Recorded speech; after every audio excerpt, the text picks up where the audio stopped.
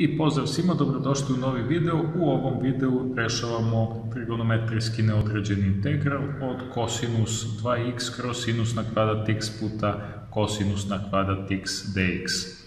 Sada, da bismo rešili ovaj integral, potrebno je malo da ga uprostimo, jer ovako dat integral je sam po sebi malo komplikovaniji. Uprostit ćemo ga na taj način što ćemo ovo kosinus 2x napisati na neki drugi način. Ako se sećate vi, ranije ste radili u drugom razredu srednje škole formulu dvostrukog ugla za kosinus, pa znamo da kosinus 2x može da se napiše kao kosinus na kvadrat x minus sinus na kvadrat x. Dobro bi bilo da tu formulu naučite da je koristite, jako često se javlja.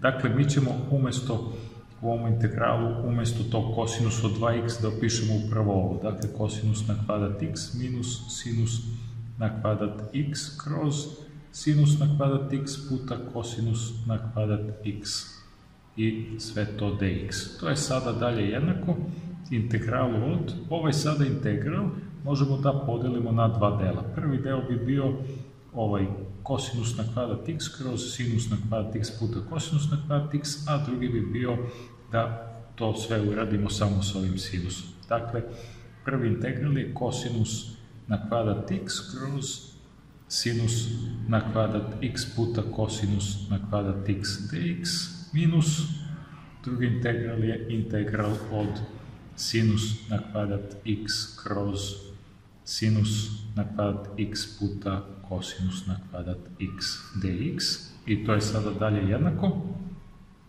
Ovde možemo da skratimo kosinus na kvadrat x i kosinus na kvadrat x, a ovde možemo da skratimo sinus na kvadrat x i sinus na kvadrat x. Dakle, tu će nam ostati kod ovog prvog da je to dalje jednako integralu od 1 kroz sinus na kvadrat x dx minus, a ovaj drugi integral će biti jednak integralu od 1 kroz kosinus na kvadrat x dx I sad ova dva integrala koje smo dobili su zapravo tablični integrali.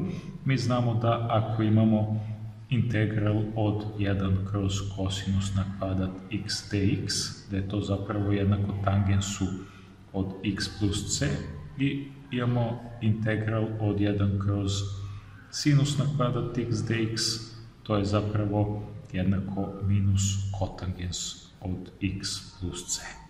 Dakle, ovde je ovaj prvi naš integral zapravo jednak minus kotangensu od x plus c minus, a ovaj drugi integral će biti jednak tangensu od x plus c, znači to će biti jednako minus tangens x plus c, to je sada dalje jednako, minus kotangens x plus c, možemo da uzmemo da je neko drugo slovo, recimo c1, pošto te konstante ne moraju biti jednake, minus tangens od x i minus ova konstanta neka c1.